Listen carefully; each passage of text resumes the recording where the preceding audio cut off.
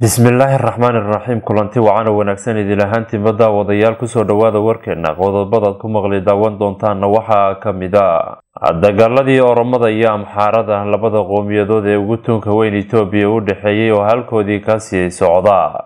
Owelef oo u jawaabtay deegaanka amxaarada eed culusna dusha uga tuurtay midooda yurub oo cunaqabatayn ku soo rogay sirdoonka eritrea iyo mas'uuliyiin xukuumadda casmara ka tirsan t b lf oo gebi ahaanba goysay wadadii dheereed ee isku xidhaysay maqale iyo alamaata iyo ugu yaraan dhowr iyo toban tuulo ay ka qabsadeen aagaasi dagaalo culus oo ka socda dhowrkii maalmood ee la soo dhaafay. Qodobadan dhanka iyo soomaaliya idinka haynana waxaa ka mid ah. Shirkii afasiyoni oo u muuqda inuu fashilmay. Ciidamadii dowladda federaalku ka dejisay gobolka gada ee jubbaland oo howlgallo cusub bilaabay. Iyo ugu dambeyntii dhalinyaro rabay in la qoro ciidamada qaranka soomaaliya oo lagu dilay xerada turkisom.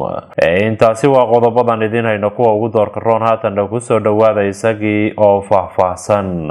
Aan ku bilowna ee dagaalo culus ayaa ka socda gobolka walega ee u dhexeeya oromada iyo amxaarada labadaasi qowmiyadood oo ah kuwa ugu tunka weyn dalka etoobiya wuxuuna sababay dagaaladaasi khasaare laxaadlo hoos oo kala gaadhay dhinacyada dagaalamaya.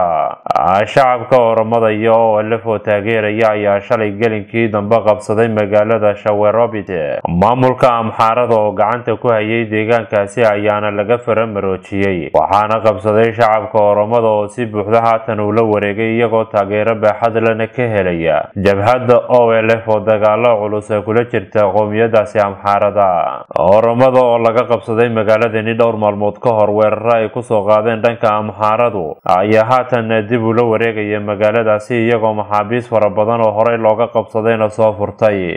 Dagaalada labada qowmiyadood u dhexeeya ayaa hadda sii ballaadhanaya iyadoo laga cabsi qabo inuu ku fido guud ahaanba xuduudda labada qowmiyadood iyo gudaha deegaanadooda. Ilaa iyo haatan dagaalada socda waa kuwa labada qowmiyadood dhul ku kala qabsanaya iyadoo markii horena ay u muuqanaysay in laga iltaan roona oromo. Laakiin haatan markii jabhadda o lf ay dagaalka ku soo biirtay waxay u muuqataa kuwa la soo baxay awood aan la dhayeelsan karin. Dibna u riixay amxaaradii markii hore horumarka ka sameynaysay aagga dagaalka. Dhanka kalena jabhadda o lf ee oromada ayaa warmurtiyeeda ay ka soo saareen dagaalada ka socda waqooyiga shawa. Waxay ku sheegeen in ciidanka amxaaradu tacadi iyo dilalba ka geysteen gobol gaar ay u degan yihiin oromadu.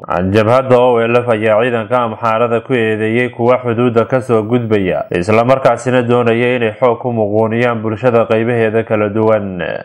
Lf ayaa sheegaysa in maleeshiyada amxaaradu soo gashay gobollo ka tirsan maamulka oromada oo ka baxsan meesha hadda ay wax ka socdeen waxayna su'aal ka keeneen. Sababta ay ciidamada amxaaradu leeyihiin deegaanka oromada u soo galeen looguna baahan karo inay nabadda ilaaliyaan iyadoo ay joogaan ciidankii gaarka ahaa ee oromada. Sidoo kalena waxay su'aal ka keeneen dhibaatada deegaanka oromada ka jirta. Ee keenaysa in ciidanka amxaaradu ay soo galaan gudaha deegaankaasi. Oo ugu dambeyntiina o lf ayaa ciidamada amxaarada ku eedeeyey inay ku xadgudbeen xuduudda deegaano kale. Siday hadalka u dhigeen iyagoo carabaabay deegaanka tigreega binshaangul waxayna sheegeen inay tacadi iyo kufsi dilalba ka geysteen aagaasi waxayna jabhadaasi o lf ay wacad ku martay inay difaaci doonto ama ka difaaci doonto weerarada amxaaradu ku soo qaadaysa shacabka oromada dhanka iyo eritreyana midooda yurub ayaa qeyb ka mid a hogaaminta eritreya ku soo rogay xayiraada dhanka safarka. Sidoo kalena waxaa hantidoodii lagu soo rogay xayiraad inaysan dhaqdhaqaaq samayn karin dal iyo dibadba. Cunaqabatayntani ayaa loo sababeeyey maadaama ay gabodfalyo xuquuqda aadanaha ka sameeyeen kuwaasi oo ka dhacay gobolka tigreega markii ay ciidamada eritreya taageerayeen milatariga ethoobiya galeen galeenna gobolkaasi dhaca waqooyiga dalka ethoobiya waxaa xusid mudan in midooda yurub iyo maraykankuba etoobiya ka joojiyeen taageero badan oo ay siin jireen. Go'aanka eritreya laga qaatay ayaa ku soo beegmaya xili lagu eedeynayo gabodfalyo ka dhacay gobolka tigreega iyo boob ay u geysteen hantida dadweynaha ee magaalooyinka waaweyn ee gobolka tigreega. Isla arrimaha tigreega ayaan ku jiraaye t b lf ayaa goysay waddooyinka isku xidha alamata iyo makale. Dagaalo adagoo dhowrkii maalmood ee la soo dhaafay ka socday aagaasi jabhadda t b lf ayaa gebi ahaanba xidhay waayey wadadii dheereed alamaatay ilaa iyo maqale isku xidhi jirtay. Waxaana la sheegay in dagaalo lagu hoobtay ay dhex marayaan ciidamada dowladda dhexe ethoobiya iyo jabhadda t b l f oo waayahan dagaalo rogaal celisa soo qaatay. Diyaaradaha dagaalka ciidamada cirka ethoobiya ayaa duqeymo xoogan la beegsanaya goobaha ay ku sugan yihiin jabhadda t b l f sida magaalooyinka karem ilaa iyo takez oo ay gacanta ku dhigeen niskii dhexe ee maalinnimadii shalay ahayd. Dhanka kalena ila xog ogaal ayaa sheegaya inay t b l f qabsatay ilaa iyo dhowr iyo toban magaalo. Magaalooyinkaasina waxaa ka mida deegaanka lagu magacaabo korem adi aba muse maswat mejow iyo sidoo kale deegaanka lagu magacaabo beleyaha deegaanadani ayaana u dhexeeya caasimada deegaanka tigreega ee maqale iyo sidoo kale gobolka raya. Xaalada wadanka ayaa sii xumaanaysa meel walibana dagaalo ayaa ka socda inta badan iyadoo beesha caalamkuna cadaadis xoogan saarayso. Ra'iisul wasaaraha dalka etoobiya oo aan in badan ka soo muuqanin waayahan dambe saxaafadda. Waxaana maanta la filayaa in ra'iisul wasaaraha dalka etoobiya uu hortago baarlamaanka dalkaasi. Si su'aalo looga weydiiyo xaalada baxaadegaysa ee dalka etoobiya shirkii ay beesha caalamku soo qabanqaabisay ee afisiyoni ayaa u muuqday inuu guul daraystay ugu yaraan maalmaha soo socda iyadoo beesha caalamkuna ay go'aamisay in si hoose loo xaliyo arrimaha la ysku hayo ka hor inta aan shirku furmin shirka ayaa fashilmay kadib markii dowladdu ay qaaday tallaabooyin dhowra oo shirka ay ku fashilinayso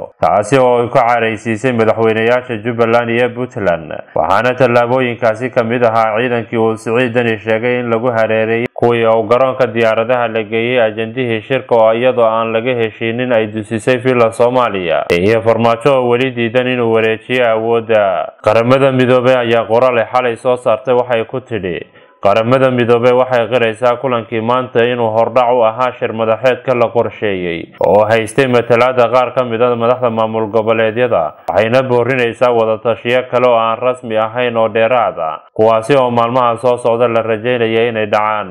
Si loo xaqiijiyo baa la yidhi ka qaybgal dhammaystiran loona baahan yahay inay dhacdadani ay noqoto mid soo saarta is-afgarad lagu fulinayo. Hanaankii doorashada ee toddobiyo tobankii sebtembar warbaahinta ayaa ogaatay in shirka dib loo dhigay. Islamarkaasina si hoose loogu kala dabqaadayo dhinacyada. Si loo xaliyo qodobada la ysku hayo kadibna iyadoo aysan jirin caqabado kale. Shirku uu dib u furmo si deg deg ah oo heshiis loogu gaadho. Shirka ayaa shalay waxaa ka qayb galay madaxweyne maxamed cabdulaahi farmaajo iyo xubnaha taabacsan. Hase yeeshee dowladda ayaa ka hor shirka qaaday tallaabooyin lagu fashilinayo iyadoo ujeedaduna uu ahaa in shirka la tago kadibna siciidan iyo axmed madoobe loo muujiyo kuwo waxdiidan axmed madoobe iyo dani ayaa ka carooday tallaabadaasi ay qaaday dowladdu. Ayaa dalbaday qodobo ay ka mid yihiin in amniga goobta shirka la sugo. Islamarkaasina madaxweyne farmaajo ciidankiisa ka saara xalane si loo helo kalsooni amni iyo wadahadal caafimaad qaba. Inkastoo amniga shirka ay damaanad qaaday amisom haddana waxaa la rumaysan yahay in ciidamada dowladdu ay weli ku jiraan qaybo ka mid a xalane. In madaxweyne farmaajo uu mas'uuliyadda qaarkood ku wareejiyey ra'iisul wasaare maxamed xuseen rooble kadibna isagoo musharaxa uu ka qayb galo howlaha tartanka doorashada. In hogaaminta shirka loo dhiibo beesha caalamka maadaama uu dhammaaday mudaxileedkii madaxweynaha islamarkaasina uusan lahayn sharciyadu ku hogaan ama hogaan layska dhex doorto balse goobjoogay balse goobjoog ka ahaadaan beesha caalamka oo damaanad qaad ka noqda fulinta waxa lagu heshiiyo. In laga wada heshiiyo ajendaha shirka oo ay horey u shaacisay villa soomaaliya iyadoo aan lagala tashan maamulada kale ee dalka gaar ahaana puntland iyo jubbaland in shaqada laga joojiyo taliyayaashii ku lug lahaa weerarkii lagu qaaday mucaaradka sagaal iyo tobankii februari ma cadda sida xaaladu ku dambeyn doonta hase yeeshee waxay u muuqataa in xalka doorashada aan weli uusan dhoweyn. Ciidamadii dowladda federaalku ka dejisay gobolka gedana waxay bilaabeen howlgallo cusub. Ciidamo ka tirsan kuwa dowladda soomaaliya oo dhowaan laga dejiyey gobolka geda ayaa waxay qayb ka mid ihi gobolkaasi ka bilaabeen howlgallo cusub. Ciidamadani oo badnaa kana tirsanaa nabad sugidda soomaaliya ayaa waxay howlgallo ka bilaabeen deegaano hoos taga degmada beled xaawe ee gobolka gedo. Halkaasi oo shalay ay safar dhanka dhulka ku tageen. Howlgallada ayaa waxaa lagu beegsanayaa dagaalyahanada shabaab kuwaasi oo mararka qaar weerara deegaanadaas sida uu sheegay taliyaha howlgalka gobolka jubbooyinka ee dowladda soomaaliya. Bakaal kooke oo howlgallada ciidamada hogaaminaya ayaa sheegay in ujeedkoodu uu yahay sugidda amniga iyo ka hortegidda ururada al-shabaab sidoo kale wuxuu carabka ku adkeeyay adkeeyey in howlgallada ka dhanka al-shabaab aysan joogsanayn marnaba ilaa iyo laga sifaynayo deegaanadaasi oo laga xaqiijinayo amniga dhammaan tuulooyinka hoostaga degmada beled xaawo ugu dambeyntiina dhalinyaro rabtay in la qoro ciidanka soomaaliya ayaa lagu dilay xerada turkisom ilawareedyo lagu kalsoon yahay ayaa warbaahinta u xaqiijiyey in la dilay ugu yaraan laba dhalinyaro ah kuwaasi oo qeyb ka ahaa shan boqol oo dhalinyaro ah oo shalay tegay xerada turkisom ee magaalada muqdisho. Dhalinyaradani ayaa rabay inay ka mid noqdaan ciidamada soomaaliya ee uu tababaro turkigu. Waxaana la sheegay in laga qaaday laba boqol oo ka mida dhalinyaradaasi tagtay goobta. Wararkaan helayna ayaa tilmaamaya in dhalinyaradani soo hadhay ay gaadhayaan in ka badan saddex boqol oo qof.